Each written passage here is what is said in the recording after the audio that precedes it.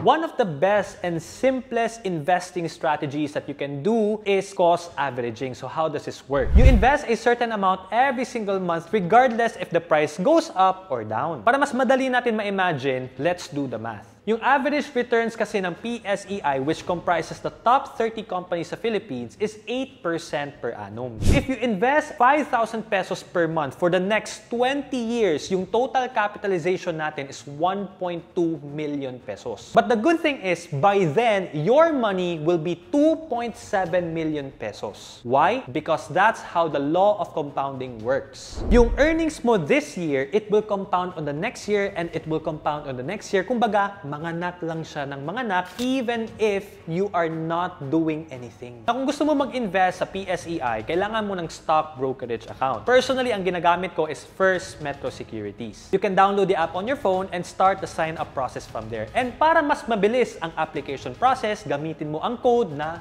The Present. Pwede ka rin mag-enroll sa kanilang VIP, also known as Voluntary Investment Program, para ma-ensure natin that you can invest regularly. For more information about it, ilagay ko yung mga links sa comment section and sa bio. Pero meron din akong tanong, how much money ba do you want to invest every single month? Pa-share naman sa comment section.